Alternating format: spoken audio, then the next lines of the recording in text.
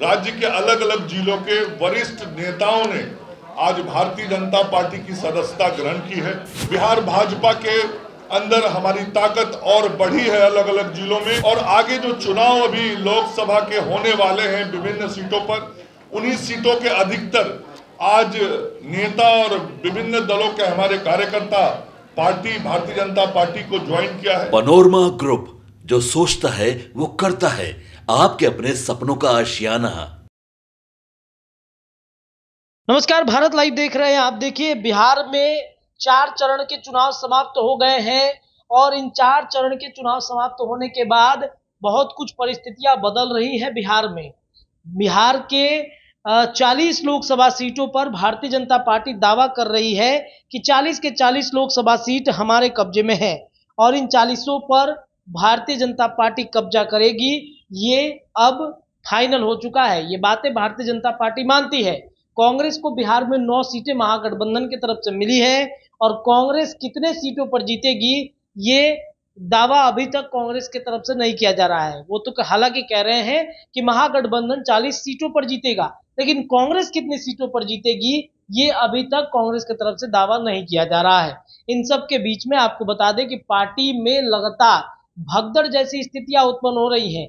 एक के बाद एक दिग्गज नेताओं का दूसरे दलों में शामिल होना और ये सिलसिला थमने का नाम नहीं ले रहा है। इस कड़ी में आपको बता दें कि एक बार फिर से बड़े नेता के बेटा ने एक बार भारतीय जनता पार्टी का दामन थाम लिया है।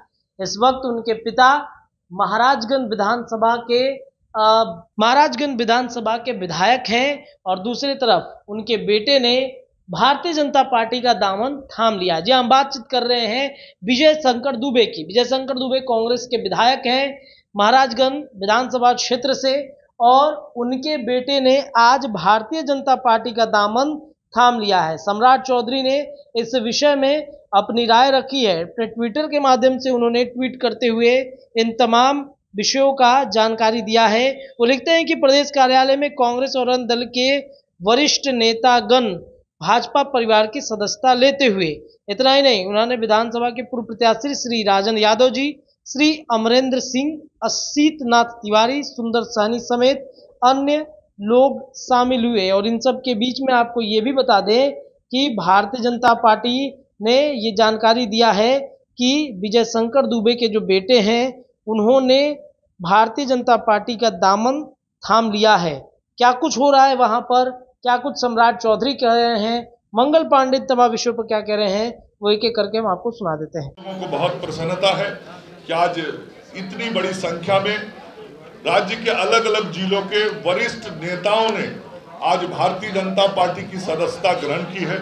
सभी सम्मानित नेताओं का भारतीय जनता पार्टी परिवार में हम सब लोग हृदय से स्वागत और अभिनंदन करते हैं। और आप सब लोगों के जुड़ने से आज बिहार भाजपा के अंदर हमारी ताकत और बढ़ी है अलग अलग जिलों में, और आगे जो चुनाव अभी लोकसभा के होने वाले हैं विभिन्न सीटों पर, उन्हीं सीटों के अधिकतर आज नेता और विभिन्न दलों के हमारे कार्यकर्ता पार्टी, भारतीय जनता पार्टी को ज्वाइन किया है। निश्चित रूप से इसका असर अभी जो सीटें बची हुई हैं लोकसभा की, जहाँ चुनाव होने उन लोकसभा सीटों पर इसका बहुत सकारात्मक परिणाम आएगा और इसका लाभ भी मिलेगा। विशेष तौर पे हम तो अपने सभी नेताओं का स्वागत और अभिनंदन करते हैं, लेकिन श्री सत्यम दुबे जी, जो कांग्रेस के वरिष्ठ नेता विजय शंकर दुबे जी के सुपुत्र हैं और आज इनके जुड़ने से एक बड़ी ताकत भारतीय जनता पार्टी के साथ जुड़ी है तो सत्यम दुबे जी का और उनके साथ जो सैकड़ों लोग आज पार्टी ज्वाइन कर रहे हैं उन सभी लोगों का और सभी साथियों का स्वागत अभिनंदन करते हुए मैं अपनी वाणी को विराम देता हूँ। हम सब लोगों को आगे भी कार्यक्रम में जाना है। जय हिंद जय भारत। पनोरमा ग्रुप जो सोचता है वो करता है। अगर ये वीडियो पसंद आई और वह बिहार के राजनीति और बिहारियत से सरोकार रखेनी तो सब्सक्राइब बटन दबा के चैनल के सब्सक्राइब कर ली। ओजे एगो घंटी बा। ओकरा बटन दबा देला से कुल सटीक और मारक खबर रुआ मुफ़्त में मिल जाई। अगर रुआ पत्रकारिता के हमनी के नया प्रयोग में सहयोग कर चाहतनी तो ज्वाइन बटन दबा दी। पेटीएम नंबर नोट कर ली nine three eight six eight one six seven double zero. धन्यवाद।